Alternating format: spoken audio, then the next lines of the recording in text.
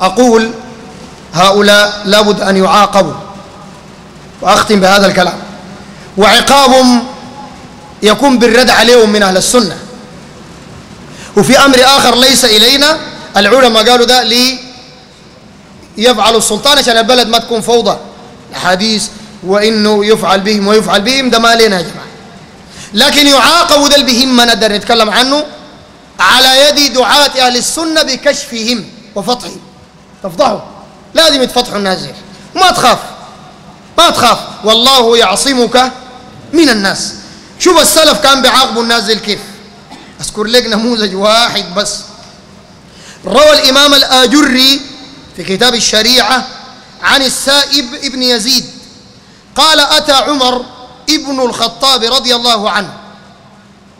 فقالوا يا أمير المؤمنين لما جاء داخل قال له يا أمير المؤمنين إنا لقينا رجلا يسأل عن تأويل القرآن. والقصة دي استدل بها الشيخ سليمان الرحيلي أيضا حفظه الله في وجوب عقاب الخوارج. جاب برضه. يعني ما نحن اللي فهمناه واستدلنا بها كده. والشاهد قال وين؟ إنه الرجل ده يتبع متشابه القرآن. والخوا... العلماء قالوا كده. والخوارج بيتبعوا متشابه القرآن. واستدلوا بها على جواز أو مشروعية قتل الخوارج. إذا رأى الحاكم ذلك وده بيقدر الحاكم المسلم بالكتاب والسنة يقدره. ليه؟ لأنه عمر الخطاب بعد ما جلدوا فتح له راسه فتح شعره لقى عنده شعر لقى عنده شعيرات في راسه. قال له لو وجدتك محلوقا لضربت عنقك. يعني شنو الكلام ده؟ يعني لو لقيتك من الخوارج لأن الرسول قال سيماهم التحليق. وقد يكون في خوارج ما بيحلقوا برضه لكن سيماهم التحليق دي الخوارج النوع الموجودين. بعد ذاك الخوارج يتطوروا بقوا أنواع زي ما ذكرهم البغدادي. ذكر قال أنواع وفرق الخوارج الأزارقة والنجدات وغيرهم وغيرهم وغيرهم من الخوارج. فلقى عنده شعر قال له لو لقيتك صلعة كان ضربت لك عنقك لو لقيتك من الخوارج. استدلوا بالحتة دي برضه طيب الجماعة قال له يا أمير المؤمنين لقينا رجل بيسأل عن تأويل القرآن. أها. فقال اللهم أمكنني منه. عمر بن الخطاب. قال يا رب أنا مكني من الزول ده.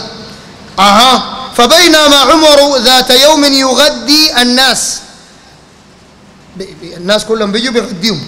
بيأكلهم عمر بن الخطاب. إذ جاءه رجل عليه ثياب وعمامة.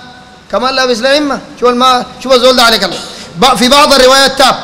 وبعضها يعني ظهر منا إنه ما فيها لحد الآن توبة. لكن إذا تاب خلاص. ثياب وعمامة يتغدى. قدر يتغدى كمان. حتى إذا فرغ قال يا أمير المؤمنين والذاريات ذروة فالحاملات وقرا. بعد ما شبع بدأ ينظر. شيوخ الإخوان المسلمين دول كله. شبعانين. عشان كده بينظروا. هيا سوروا. واحد تلقى صوته زي زي الحصان. سوروا. والجماعة يطلع وهو قاعد يمشي البيت. فقال عمر أنت هو؟ ده انت ذاتك. قالوا ليه ده هو؟